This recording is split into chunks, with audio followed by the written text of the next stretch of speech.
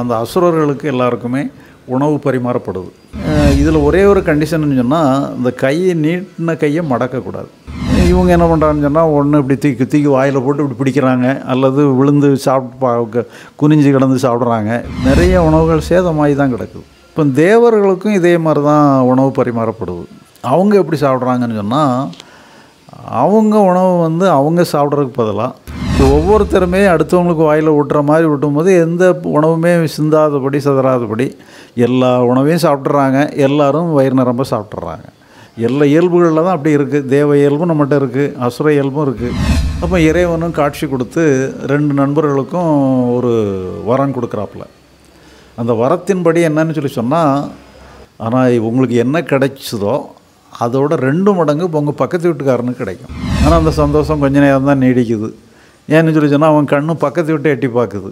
எனக்கு ஒரு கண் குருடாய் போகணும்னு சொல்லி பிரார்த்தனை பண்ணுறான் மூணாவது வாரத்தில். இப்போ இவனுக்கு ஒரு கண்ணு போனோன்னா அவனுக்கு ரெண்டு கண்ணு போகணும் இல்லையா? அதே மாதிரி அவனுக்கு ரெண்டு கண்ணு போயிடுது இவனுக்கு ரொம்ப சந்தோஷம். ஏன்னா பக்கத்து வீட்டுக்காரனை பழி வாங்கிட்டோன்னு சொல்லி. அவனுடைய வீடு வந்து ஒரு மாளிகையாக மாறணும்னு சொல்லி ஒரு வரத்தை பயன்படுத்தினேன். அதே மாதிரி அவனுடைய வீடு வந்து குடி குடிசை வீடாக இருந்தது ஒரு மாளிகையாக மாறிட்டுது. ஆனால் அவனுக்கு நான் தானே பக்கத்து வீட்டுக்காரன். அதனால் அவன் வீட்டை விட ரெண்டு மடங்காக என் வீடு பெருசாயிட்டு.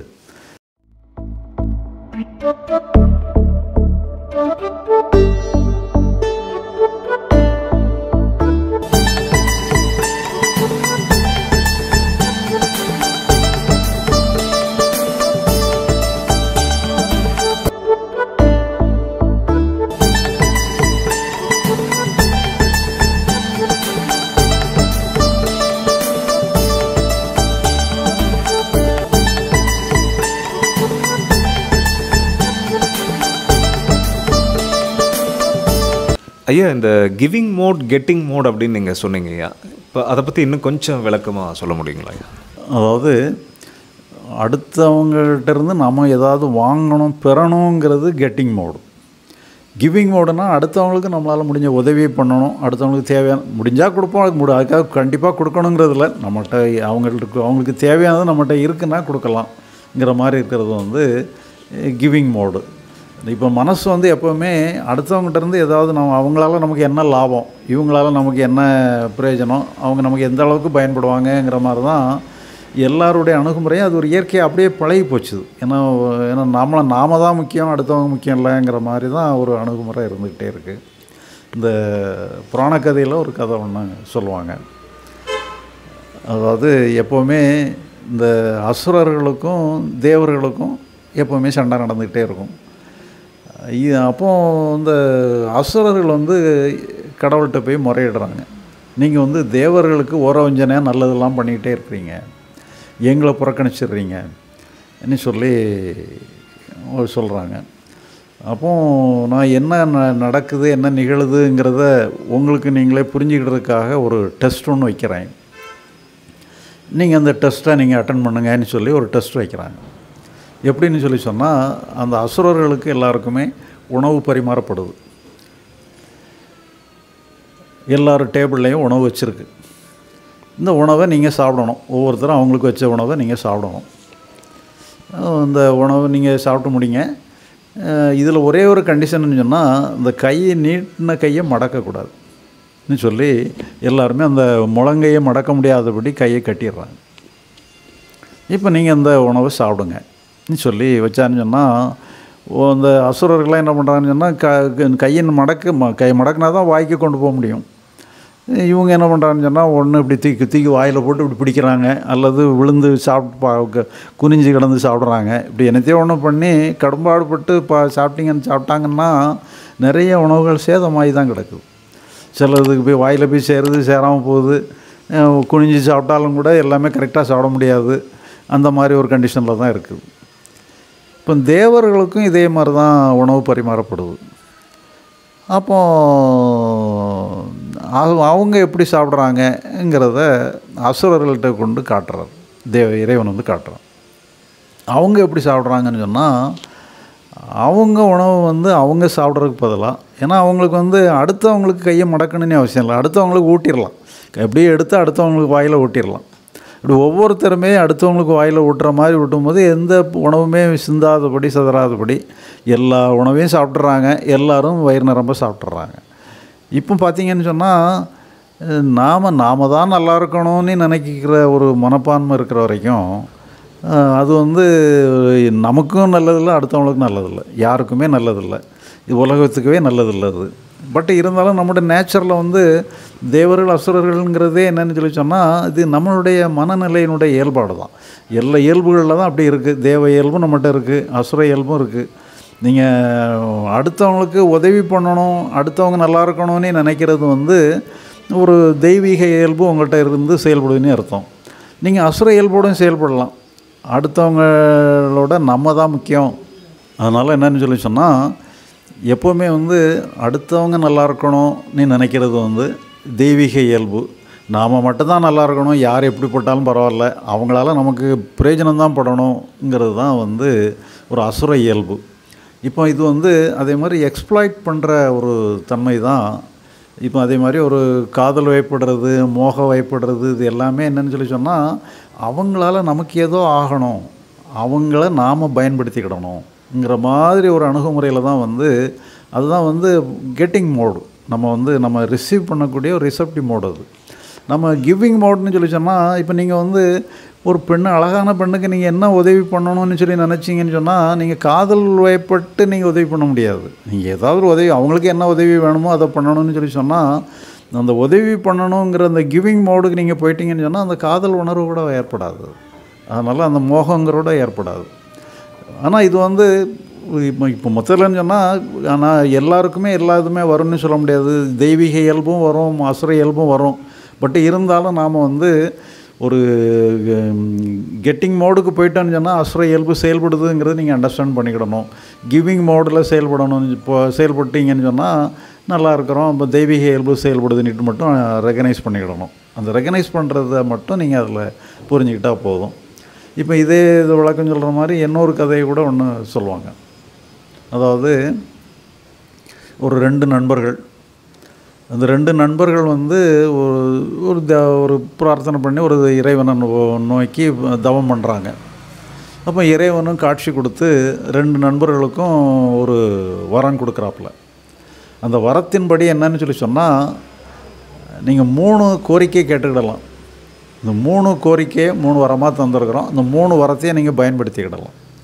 என்ன வேணாலும் நீங்கள் கேட்டால் அதெல்லாம் கிடைக்கும். மூணு தடவை தான் கேட்கலாம். மூணு தடவைக்கு மேலே கேட்க முடியாது. இப்படி மூணு ரெண்டு பேருமே ஆளுக்கு மூணு வரம். இந்த மூணு வரத்தையும் பயன்படுத்தி உங்களுக்கு என்னென்ன வேணுமோ அது கிடைக்குங்கிற மாதிரி மூணு வரம் கொடுக்கப்பட்டிருக்கு. அந்த மூணு வரத்தை அந்த அந்த வரத்தில் ஒரு கண்டிஷன் வந்து உண்டு. ஒரு கண்டிஷன் என்ன கண்டிஷன் சொல்லி சொன்னால் நீங்கள் என்ன கேட்டாலும் கிடைக்கும். ஆனால் உங்களுக்கு என்ன கிடைச்சதோ அதோட ரெண்டு மடங்கு உங்கள் பக்கத்து வீட்டுக்காரனுக்கு கிடைக்கும். இதுதான் அந்த கண்டிஷன் இப்போ அதே மாதிரி இந்த ரெண்டு நண்பர்களும் வராங்க வீட்டுக்கு வந்துடுறாங்க. வந்தான்னு சொன்னால் அங்கே வீடு வந்து கொஞ்சம் பழைய வீடு ஒருத்த ஒரு நண்பருடைய வீடு வந்து பழைய வீடு. அப்போ ஒரு வீடு இவ்வளோ பழசாக இருக்க ஒரு நல்ல வீடு இருந்தால் பரவாயில்லையேங்கிற மாதிரி நினைக்கி எனக்கு ஒரு பெரிய ஒரு மாளிகை வேணும்னு சொல்லி முதலாவது வரத்தை பயன்படுத்துகிறாரு மறுநாள் காலையில் பார்த்தான்னு சொன்னால் அவர் வீடு வந்து ஒரு பெரிய மாட மாளிகையாக இருக்குது ஒரு முதல் வாரம் ஓகே ஆயிட்டு. உடனே இவனுக்கு இவன் கொஞ்ச நேரம் நல்லா ஆனந்தமாக கூத்தாடுறான். நம்ம வரத்துனால நம்ம வீடு பழைய வீடு புது வீடாக மாளிகை ஆகிட்டுன்னு சொல்லி ரொம்ப சந்தோஷப்படுறான். ஆனால் அந்த சந்தோஷம் கொஞ்ச நேரம் தான் நீடிக்குது. ஏன்னு சொல்லி சொன்னால் அவன் கண்ணு பக்கத்து விட்டு எட்டி பார்க்குது. பக்கத்து வீட்டுக்காரனுடைய வீடு என்ன சொன்னால் ரெண்டு மடங்கு இவனுடைய வீடோட ரெண்டு மடங்காக இருக்குது ஏன்னா அந்த வரத்தினுடைய இது அப்படி தான் உனக்கு என்ன கிடைக்குதோ அதோட ரெண்டு மடங்கு பக்கத்து வீட்டுக்காரனு கிடைக்கும். அதே மாதிரி பக்கத்து வீட்டுக்காரனுடைய வீடு வந்து ரெண்டு மடங்காக இருக்குது சரி இவனுக்கு அவங்க அது வரைக்கும் ஆனந்தமாக இருந்த ஆனந்தம்லாம் அப்படியே ட்ரெயின் டைட் போயிட்டு. பிறகு சரி நம்ம அடுத்த வாரம் கேட்போம். நமக்கு வந்து ஒரு ஓட்டை பைக்கு தான் வச்சுருக்கோம். ஒரு நல்ல கார் இருந்தால் பரவாயில்ல. நீ நினச்சி அடுத்த வரத்தை பயன்படுத்தி ஒரு நல்ல காருக்கு கேட்குறான். பிரார்த்தனை பண்ணுறான். அது மாதிரி மறுநாள் காலையில் விடிஞ்சு பார்த்தான்னு சொன்னால் வீட்டு கா போர்ட்டிகோவில் ஒரு நல்ல புத்தம்புது கார் பிராண்ட் நியூ கார் ஒன்று அருமையான கார் நிற்குது இதே மாதிரி பார்த்தா அதே மாதிரி பக்கத்து வீட்டை எட்டி பார்க்குறான். பக்கத்து வீட்டில் ரெண்டு கார் நிற்கு இவன் என்ன கார் வாங்கினானோ அதே மாதிரி ரெண்டு கார் அங்கே நிற்குது இவனுக்கு அவன் பக்கத்து வீட்டுக்காரன் ரொம்ப ஆச்சரியப்படுறான். நான் இறைவனை பிரார்த்தனை பண்ணதுனால எனக்கு இந்த ஆனால் இதெல்லாம் எனக்கு இறைவன் கொடுத்துட்டான்னு சொல்லி அவன் வேறு அங்கே பக்கத்து வீட்டுக்காரன் கூத்தாடுறான். இப்போ இவனுக்கு ஒன்றும் ஓடலை. என்னடா நாம் பெற்ற வரத்தில் அவன் வந்துலாம் என்ஜாய் பண்ணிகிட்டு இருக்கிறான்னு சொல்லி இவனுக்கு ஒரேடியாக இதாகி போச்சுது. இன்னும் ஒரே ஒரு வரம் தான் பாக்கியிருக்கு இந்த வரத்தில் அந்த பக்கத்து வீட்டுக்காரனுக்கு ஒரு நல்ல பாடம் படித்து கொடுக்கணும் நிட்டு சொல்லி ஒரு முடிவு பண்ணுறான் முடிவு பண்ணிவிட்டு என்ன பண்ணுறான்னு சொன்னால் எனக்கு ஒரு கண் குருடாய் போகணும்னு சொல்லி பிரார்த்தனை பண்ணுறான் மூணாவது வரத்தில். இப்போ இவனுக்கு ஒரு கண்ணு போனோன்னா அவனுக்கு ரெண்டு கண்ணு போகணும் இல்லையா அதே மாதிரி அவனுக்கு ரெண்டு கண்ணு போயிடுது இவனுக்கு ரொம்ப சந்தோஷம்.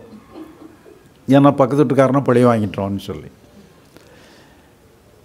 பிறகு இதே மாதிரி என்னன்னு இப்போ சரி இதுவனுக்கு நடந்தது இப்படி. நம்ம அடுத்து இன்னொரு நண்பன் இருக்கான். அந்த நண்பன் என்ன இப்படி இருக்கானே பார்க்குறதுக்காக அவன் வீட்டுக்கு போகிறான் அவன் வீட்டுக்கு போனான்னா அவன் வீடும் ஒரு சாதாரண வீடு தான் இருந்தது. இப்போ அங்கே போய் பார்த்தோன்னா அங்கே ஒரு பெரிய மாளிகையில் அவன் குடியிருக்கிறான். அப்போ அந்த வரத்தினால தான் பயன் மாளிகை ஆயிட்டுன்னுட்டு அவனுக்கு தெரியுது. அப்போ அவன்கிட்ட கேட்குறான் நண்பன்கிட்ட கேட்குறான். உன்னுடைய வீடு பெரிய மாளிகையாயிட்டியப்பா என்ன விஷயம்னு சொல்லி கேட்குறான் அப்படி முதலாவது வரத்துனால தான் பெரிய மாளிகை ஆயிட்டுதுன்னு சொல்கிறான் அப்போ இவன் இப்போ அவனுடைய பக்கத்து வீட்டை எட்டி பார்க்குறான் அப்போ இவனுடைய மாளிகையோட ரெண்டு மடங்காக பக்கத்து வீட்டு மாளிகை இருக்கணும் இல்லையான்னு சொல்லி பக்கத்து வீட்டை எட்டி பார்க்குறான் பக்கத்து வீட்டு மாளிகை அப்படி பெருசாக இல்லை. பக்கத்து வீட்டுக்காரனுடைய மாளிகை வந்து இவன் வீட்டு மாளிகையோட பாதியாக தான் இருக்குது அப்போ என்னடா இப்போ எனக்கு ஒரு வரத்துப்படி பக்கத்து வீட்டுக்காரனுக்கு ரெண்டு மடங்காக பெருசாக இருக்குது ஆனால் ஓன் வரத்துப்படி பக்கத்து வீட்டுக்காரனுக்கு பாதி அளவில் தானே இருக்குது என்ன காரணம்னு சொல்லி கேட்குறான் அப்போ அவன் அந்த நண்பன் என்ன சொல்கிறான்னு சொன்னால் நான் வந்த அன்னைக்கு அன்னைக்கு கொஞ்சம் மழை மழை பெஞ்சுது. அதனால் அந்த பக்கத்து வீட்டுக்காரனுடைய கூரையெல்லாம் பிச்சுட்டு போயிட்டுது. அப்போ பக்கத்து வீட்டுக்காரன் ஓடி வந்து எனக்கு இந்த கூரையெல்லாம் பிச்சுட்டு போச்சு. இந்த கூரையை மேய்கிறதுக்கு ஏதாவது கொஞ்சம் பண உதவி பண்ணப்பா. நான் சீக்கிரம் அடுத்தாப்புல அறுவடையில் தந்துடுறேன். நீ சொல்லி என்கிட்ட கடன் கேட்டுக்கிட்டு இருந்தான். சரி நான் உனக்கு நாளை தாரேன்னு சொல்லி அவனை அனுப்பி விட்டுட்டு உடனே ஒரு முதல் வரத்தை பயன்படுத்தினேன். அவனுடைய வீடு வந்து ஒரு மாளிகையாக மாறணும்னு சொல்லி ஒரு வரத்தை பயன்படுத்தினேன். அதே மாதிரி அவனுடைய வீடு வந்து குடி குடிசை வீடாக இருந்தது ஒரு மாளிகையாக மாறிட்டுது. ஆனால் அவனுக்கு நான் தானே பக்கத்து வீட்டுக்காரன். அதனால் அவன் வீட்டோட விட ரெண்டு மடங்காக என் வீடு பெருசாகிட்டு நீ சொல்லி சொல்கிறான் இப்போ பார்த்தீங்கன்னு சொன்னால் அதாவது நாம் வந்து என்ன பண்ணுறோமோ அது வந்து நமக்கு ரெண்டு மடங்காக ரிட்டர்ன் ஆகும். அதனால் நம்ம அடுத்தவங்களுக்கு நல்லது பண்ணணும்னு நினச்சோன்னு சொன்னால் நமக்கு அதோட ரெண்டு மடங்காக நல்லது கிடைக்கும். அதனால் எல்லாத்தையுமே நம்ம வந்து அந்த கிவிங் மோடில் உள்ள லாபம் அதுதான். மொத்தத்தில் நீங்கள் கிவிங் மோடுக்கு போனீங்கன்னாலே நீங்களும் நல்லா இருப்பீங்க எல்லோரும் நல்லா இருப்பாங்க. அடுத்தவங்கிட்டருந்து எக்ஸ்ப்ளாய்ட் பண்ணணுங்கிற மோடுக்கு நம்ம போயிட்டோம் அடுத்தவங்கிட்டருந்து வாங்கணுங்கிற மோடுக்கு போயிட்டோம்னு சொல்லி சொன்னால் அது அவங்களையும் சுரண்டன வைங்க நீங்களும் நல்லா இருக்க மாட்டீங்க. ஏதோ ஒரு வகையில் கடைசி வரைக்கும் ஒரு போராட்டம் பிரச்சனைங்கிற மாதிரி தான் ஓடிட்டுருக்கும்